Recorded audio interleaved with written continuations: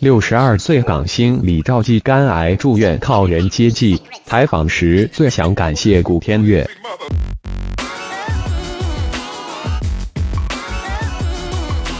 六十二岁港星李兆基肝癌住院靠人接济，采访时最想感谢古天乐。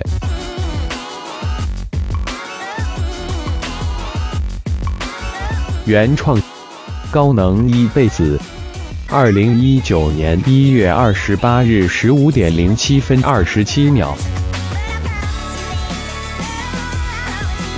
高能一辈子系今日头条签约作者，此文为高能一辈子原创，禁止任何形式的转载，转载请后台联系，但欢迎你们转发到朋友圈。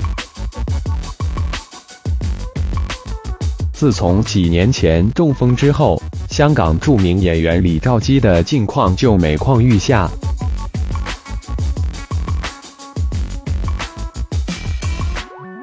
后来他更是因二度中风没了工作能力，必须靠别人资助过活。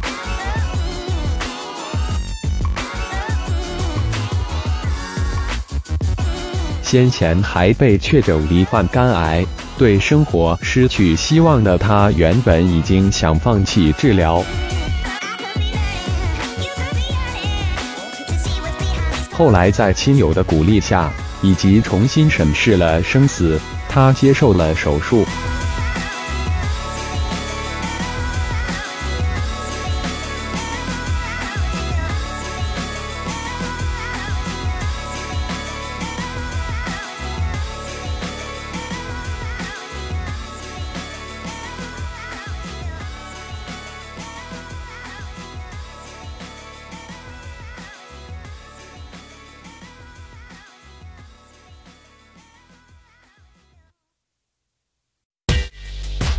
所幸他的手术成功了，不少网友看到李兆基的样子，纷纷表示心疼。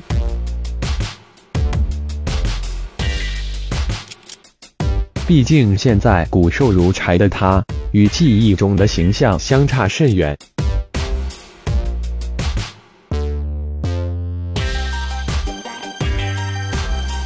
李兆基。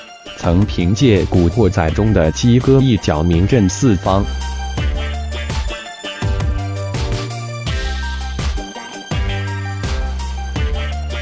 他不仅在里面担当演员，还是整部电影的顾问。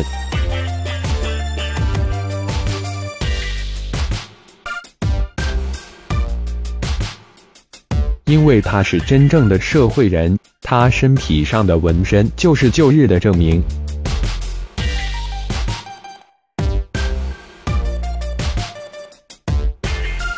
李兆基本身就是黑社会出身，曾经是十四 K 成员，年轻时天天打架收兄弟。当时他也是名震江湖的慈云山十三太保之一，更是当中最狠的打手。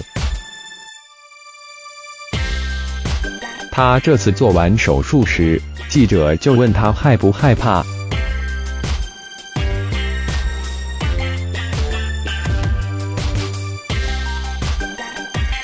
他直言，自己当年被几支枪打都不害怕，现在还会害怕什么？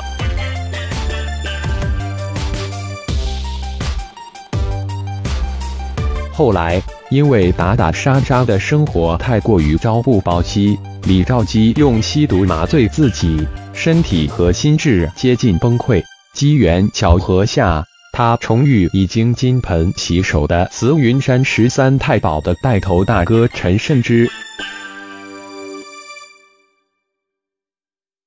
当时陈慎之己成为牧师，在他的劝说下，李兆基改邪归正，靠福音戒毒，成功脱离黑道。一九七零年，李兆基迁入香港无线电视台任编导、演员。曾在多部电影、电视剧中扮演反派角色，因坏人形象深入人心，他与何家驹、陈奎安、黄光亮并称为影坛的四大恶人。在巅峰时期，李兆基还和周星驰有过不少合作，如《食神》《航运一条龙》等，让人看到除了反派头目，他也有搞笑的一面。不仅如此，李兆基和大飞哥吴志雄创立江湖人电影公司，监制了多部涉及黑社会题材作品，出品了《纵横四海》《美丽传说》《祖先开眼》《纵横天下》《影城大亨》等佳作。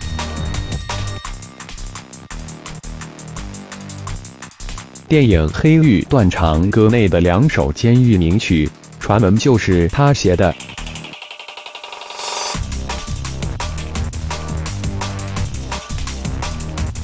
虽然黑道出身，但李兆基为人仗义，艺人有困难时，他常常出手相助。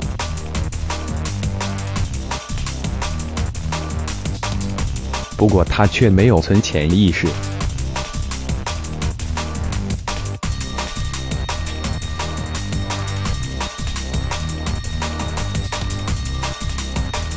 但是中风后，他的生活却发生了翻天覆地的变化。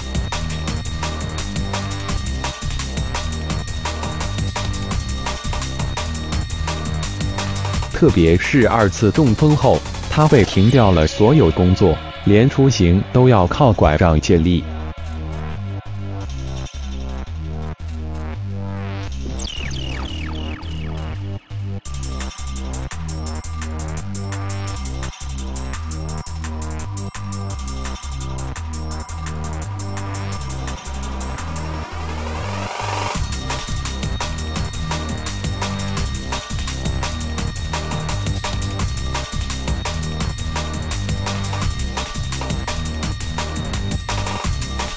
自生病后，他没有任何收入来源，经济十分窘迫。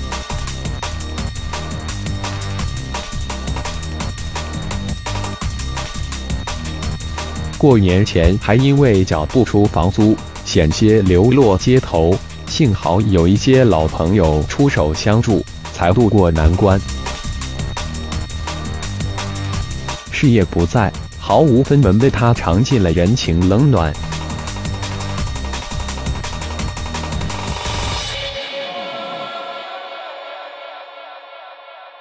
李兆基坦言自己不愿意麻烦人，更与圈内朋友断绝联系，怕人家以为他要借钱。自曝有一位艺人欠他二十万港币，约人民币十八万，没想过跟对方讨回。他想还自然会还，我现在过的一日是一日。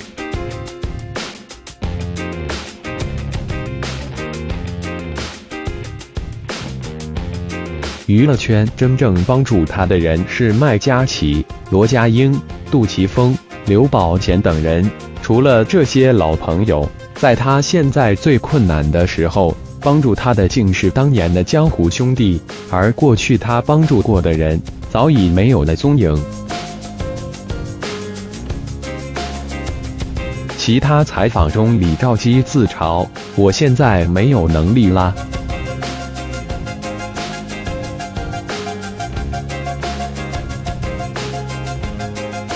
之前我做兼职可以雇很多人，现在没有能力，你找他们做什么？从年轻出来这么多年了，什么大事没见过？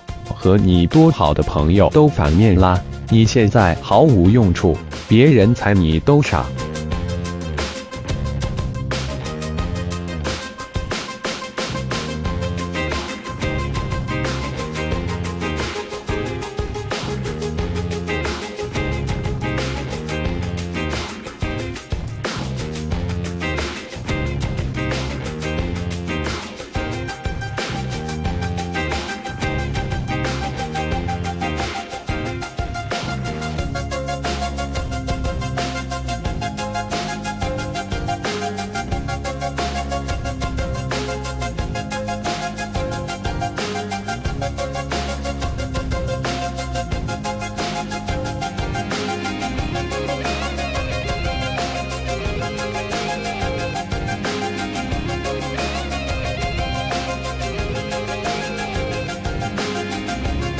曾经让他金盆洗手的大哥陈慎之，知道他的现状，哀其不幸，怒其不争。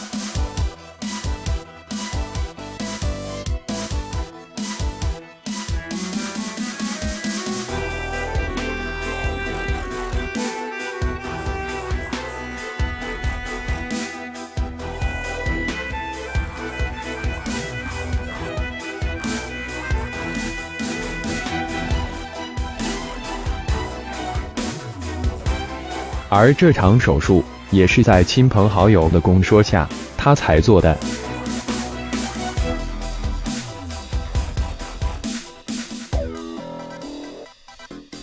他在一月九日动手术，原本医生预计他在开完刀后必须在加护病房住上五天，没想到最后他只住了一天，就已经可以转到普通病房。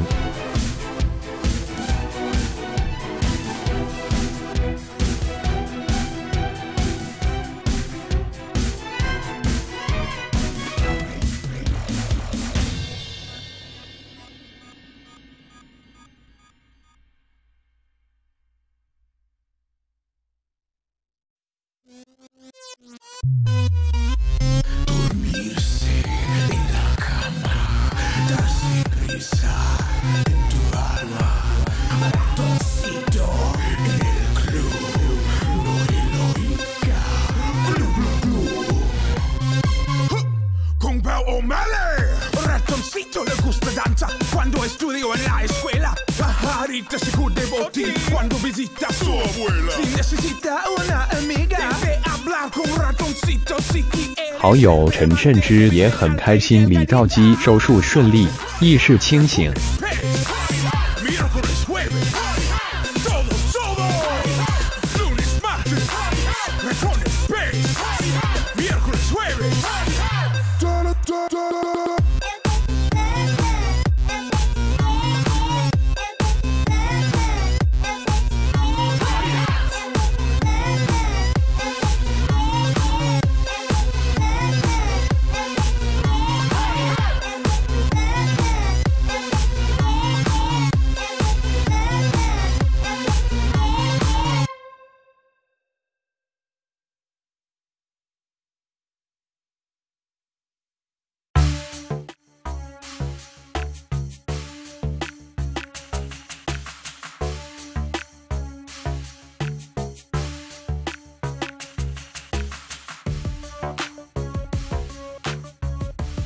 这次手术也让李兆基感慨颇多，他也希望自己能早日康复。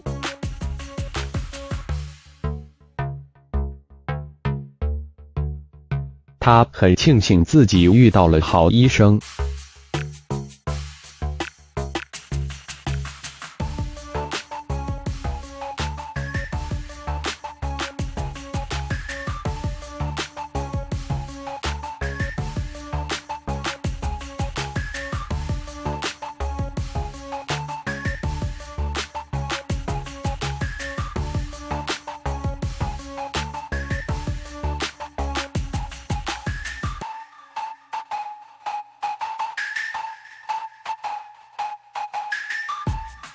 李兆基也透过多年好友陈慎之报平安，他特别提及要感谢古天乐，称古天乐一直有在跟进他的状况，不仅非常关心他的病况，甚至主动提出要给予经济支援。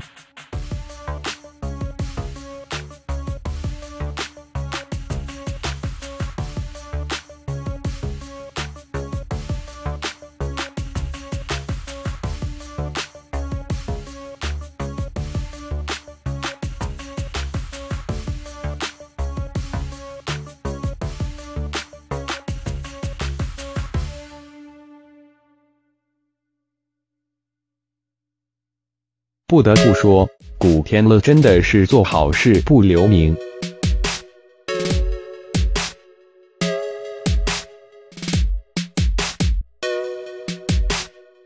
除了李兆基，还有吴志雄。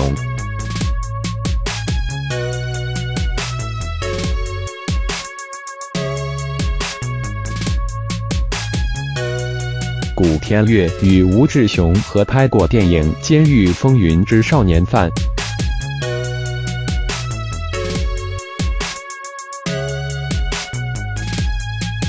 吴志雄曾是真正的黑道中人，在他经济最困难的时候，只有为数不多的几个人帮他，其中就有古天乐。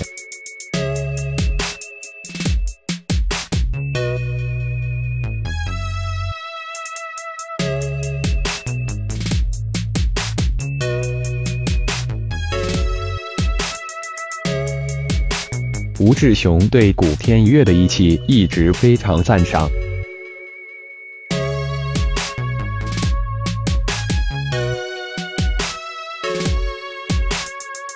吴君如也说，古天乐虽然慢热，但一旦认定别人是自己朋友，就会非常热情大方。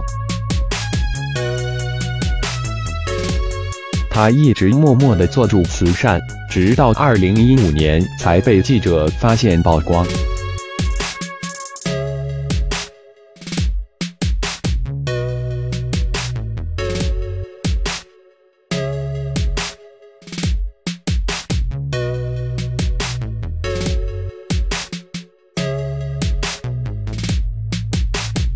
早在二零一四年五月。他捐的学校已经有六十三座，后来还在默默增加。而他常常亲自去捐助的学校帮忙，但很多孩子因为地区落后，都不知道他是大明星。古天乐是通过慈善机构香港慈恩会向内地贫困山做出捐助。而香港慈恩会规定，个人捐款项目必须以捐款者姓名命名，所以以古天乐命名学校或校舍，并非他的个人行为。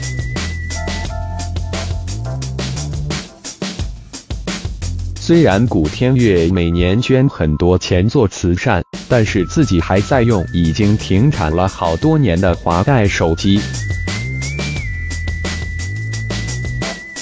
或许这才是做好事正确的打开方式吧。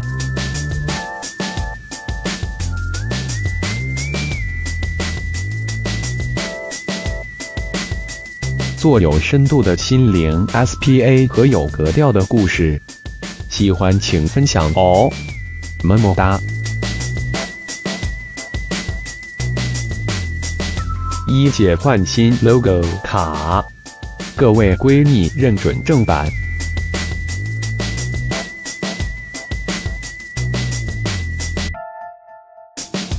都市男女的心灵 SPA。